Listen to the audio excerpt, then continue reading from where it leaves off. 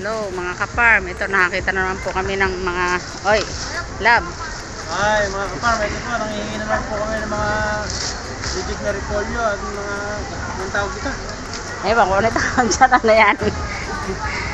Pechay. Hindi pechay. Ah, pechay ba yan? Pati, ano Ah, pechay bagyo. Mga kaparm, oh, mga guys, oh. Kami na lang po tayo papakain sa ating mga alaga. Chamba, ang dami. Ah, bimim. Dami ah. Kailangan po talaga tipid-tipid, wala po tayo mabiling darak eh.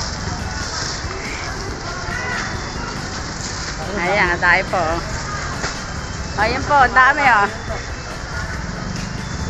Sakto, bimim. Ay, ayaw tumingin ni bimim eh.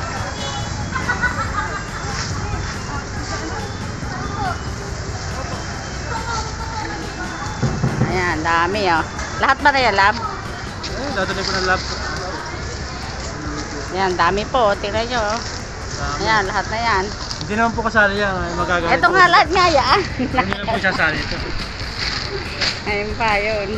Ah, sige. Solve-solve yung, solve-solve yung kwan dito. Peking duck. Bibi, saka pabo.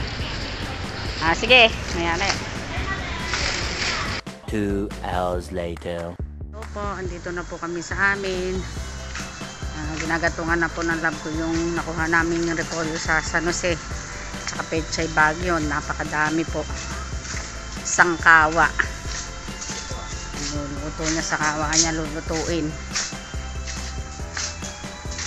Ayan po, ang dami.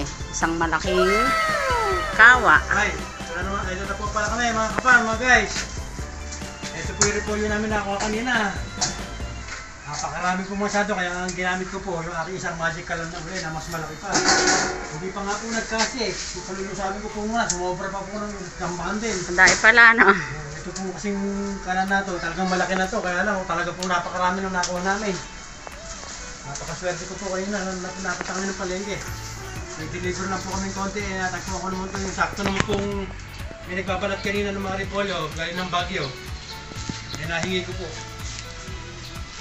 Kasi talaga po wala naman akong pagkain, ulit-ulit ko na lang sinasabi, oh. Ang gaganda pa po ng repolyo, bagong-bago, bro. Eh kung po wala kaming ulam ngayon, eh, pwede po igisa, eh. oh. Maganda Pwede po, oh. yan, ah. Ito naman po yung aking magic lang. Eh, lab, pakita mo nga yung bunganga. O, oh, yan. Bunga nga. O, oh, yan po, nag-aapoy po, di ba? May mga magic ka lang po ko. Ito po yung usakan niya, oh. Mahal ko po. Ang gumawa Ginawa ko lang po yan. yan. Ah, pinagyayabang ko na rin po ng konti. Yan po yung ginawa niya. Ganyan po, malaki po yung talyasin na yan. Yung pong talyasin na yan, nabili ko po ng surplus. Nung araw. Matagal na po yan, nung nagluluto pa po kami. Hanggang ano-ano. Eh ngayon po, mapapakanabahan ko na po uli sa mga repolyo papakain sa aking mga alaga. Lag, pakain muna tayo natin mga alaga. Lakas ng apo yan, oh. Ayan po, uling apo yun.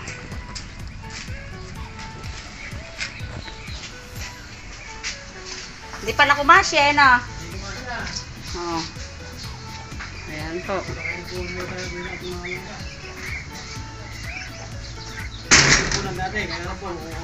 Na. Kinakain din nila kahit yung sariwang ganyan. Ayan. may problema, ayaw eh. Ay, Ayaw po nila. ng ganitong forma yun. Pero pagka tinagtad ko po ito luto ko, gusto po yan. Kasi nasubukan ko nung ulit. Kaya kailangan po pagtagaan din, uh, tanta rin sa luto. Kailangan daw po. Ay, ang lalim na naman po ng ano, ng paliguan ng mga bibi. Papuntahan daw kayo sa daddy. Ang galing ng kanyang pantawag, tambol. Ayan po, papakainin mo po tayo ng ating mga alaga.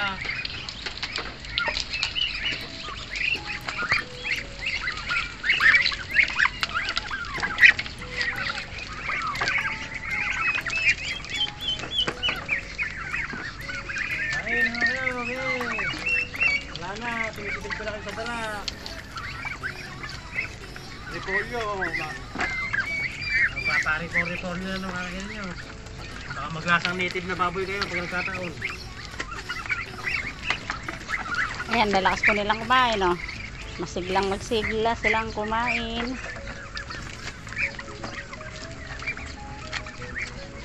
Yung mga papong may inam eh. Pagka kumain sila ng damo, mahirang kumain. Yung pabo daw po ang mainam pag kumain sila ng damo. Mahina silang kumain dito. Naubos na nila yung mga damo, pati po yung ugat, nahububunot po. nila. Ang galing nga ng ano na yan, ano. Tulad po ng. Pabo. Oh, katulad daw po ng dati, yung breeder, ihuhuli na naman. Sisiyo na pito, pahuli. 2, 4, 6, 7.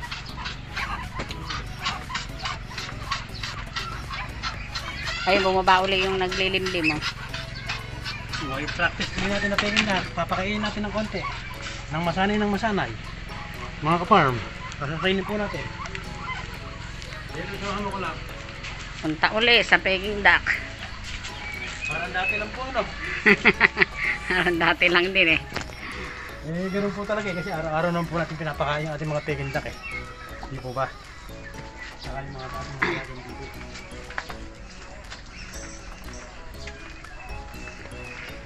ayun po yung mga batang mga mababait na bata. Halika dito, bisa niya. Halika.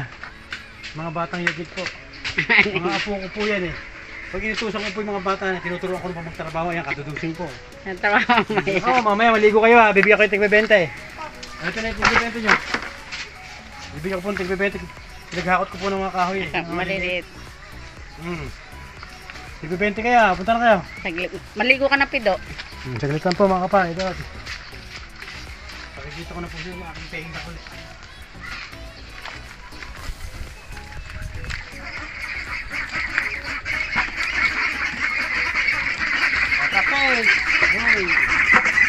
Basketball player ka pala.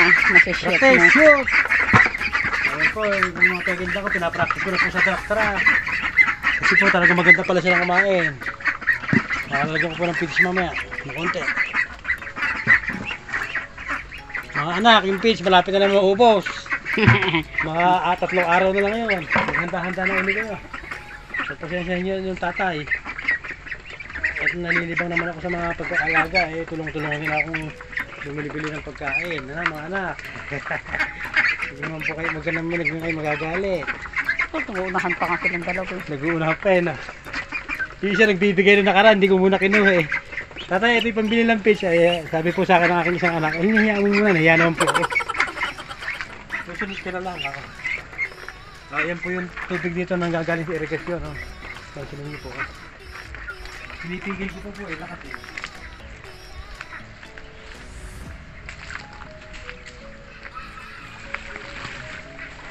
Ba't pinipigil mo pa? Ayun yung papunta. Yan, galing po sa irigasyon natin. Yan, pumapasok po sa paligo ng aking mga dalaga.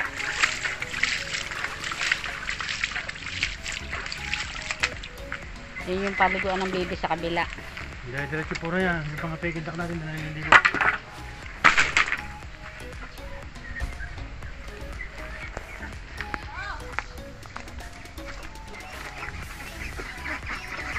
uh, hanggang dito na lang po siguro ang ating video. Next video na lang po ulit mga kaparm. Ah, at yung, yung pong naiisip ko eh, parang kulang na. Ah, para sa mga hindi po nakakapan sa mga bago pong nanonood sa amin sa aming maliit na channel, eh huwag niyo pong kalimutang mag-subscribe. At pakipindot na rin po ang maliit na kampana para lahat po ng aming mga video inyong masubaybayan. Maraming salamat po.